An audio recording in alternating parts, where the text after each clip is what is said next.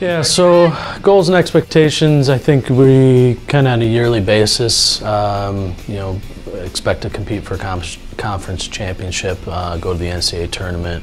Um, you know, this is a team with uh, pretty good tradition over the last uh, four or five years. Uh, been in the conference final three of the last four years, you know, won championship. So um, I think that's kind of a yearly expectation for us and, and certainly a goal to, to win the conference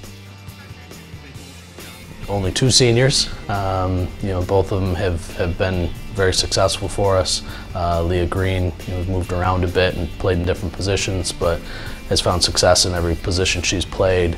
Uh, Audrey Reed's having a great fall. Uh, has had a uh, really good last few years. Uh, learned a lot of things as a freshman and really figured some things out. And uh, we're excited for her because now she's kind of stepping out of the shadows of, of those seniors that you know played ahead of her for those first three years. So uh, those two seniors are they're great leaders, they're great soccer players, they're great people, and and we're excited to have them you know leading this uh, this uh, new version of, of our program.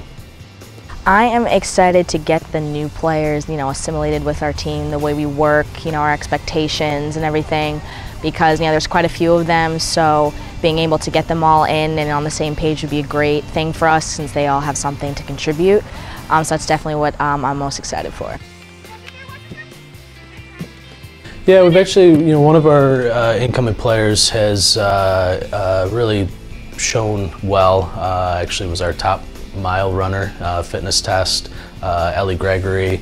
Um, a transfer come in in the spring who uh, had a knee injury, dealing with some injuries that she had previous, Sarah Pedroza, who's had a really great fall, and it's really been the first time we've had a chance to see her play. Didn't really get to play in the spring, so it's been nice to see her come back from that knee injury, and so in, in a lot of ways she's a new player for us as well as a sophomore uh, transferring in. So it's uh, those those two have been you know nice uh, additions to the to the group.